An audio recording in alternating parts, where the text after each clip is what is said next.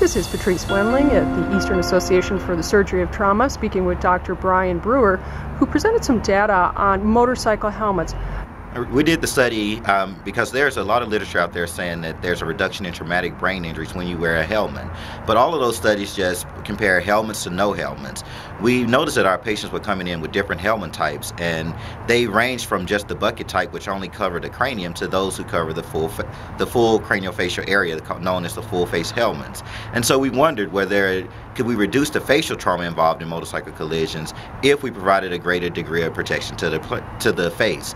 Therefore we proposed a study that would compare full face helmets to all other helmet types to see if there was a difference. And what did you find when you looked at it? Did you find significant changes and also in TBI? We did find significant changes. We found that there was a reduction, a statistically significant reduction in the number of facial fractures when patients wore full face helmets versus other helmet types. We also found that there was a statistically significant difference in the number of skull fractures. They were less in patients who wore uh, full face type helmets versus any other helmet type. What we found in traumatic brain injuries is that although it almost cut the risk of traumatic brain injury in half, this was not statistically significant. And it's the same thing with mortality. Although there was a high relative risk reduction, it was not statistically significant either.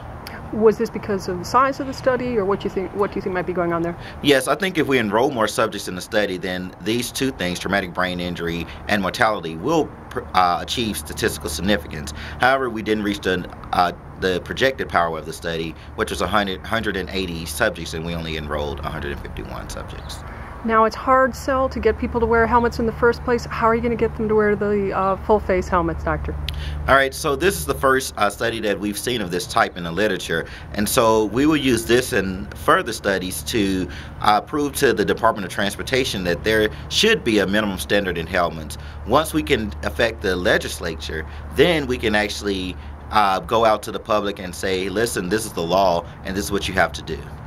Did you find any difference in who was actually wearing the more uh, protective helmets than those who were not?